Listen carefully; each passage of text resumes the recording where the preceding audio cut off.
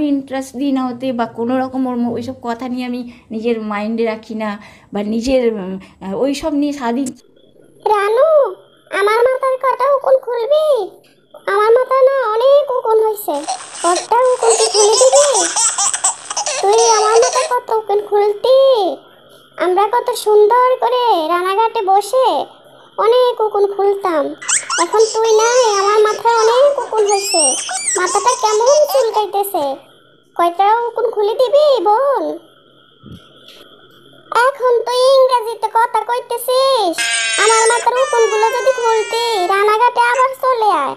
একসাথে দোনো বোন মিলে বসে আমরা অনেক সুন্দর করে আলতো করে উকুন খুলবো আসবি?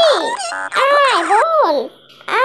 আমরা ভালোবাসতাম, ভালোবাসি, ভালোবেসে যাব বিকজ আমি এই গানকে এই জন্য ভালোবাসি যে গান আমার জীবন গানই আমার জীবন, গানই আমার সব কিছু কারণ গান যদি না থাকে তাহলে আমার জীবন কোনো বৃথা।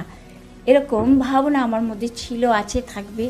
Because God is always with me ভগবানের যে ছায়া সেই হচ্ছে আমার সব থেকে বড় অ্যাডভাইস অ্যাডভাইসটার আর ফির কী বলে ক্লিয়ারলি বলতে পারিনি আমি ইংলিশে মানে ভগবান আমার যিশু আমার ইয়েশু যে যে ভাষায় তাকে জানে তার বিষয়ে আমি বলছি। দুঃখ।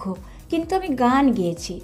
জাস্ট নিজেকে ফিলিংস করানোর জন্য যে আমি গায়িকা। দিন হতে বা কোনো রকম ওর ওইসব কথা নিয়ে আমি নিজের মাইন্ডে রাখি না, বা নিজের ওইসব নিয়ে সারাদিন চিন্তা করা সব telling you told you God is with me always তো আকারই না থাকতে পারে আমার সঙ্গে অলওয়েজ টাইম উইথ মি সে বলে কি আম নট ফগেটেটিভ মানে আমি কখনো তোমাকে ভুলবো না। আমি বিলিভ করি আই মিন বিশ্বাস করি যে হিমেজ যে হ্যাঁ হিমেজ আমি যখন বম্বেতে এসেছি, তখন তো আমি তো আরও কোনো, আমি তো because I believe my God that's why আর ঠিক বলা যায় না ওটাকে মানে আনকমপ্লিট হয়ে রয়েছে, সেটা সেটার কথা ছাড়া বম্বে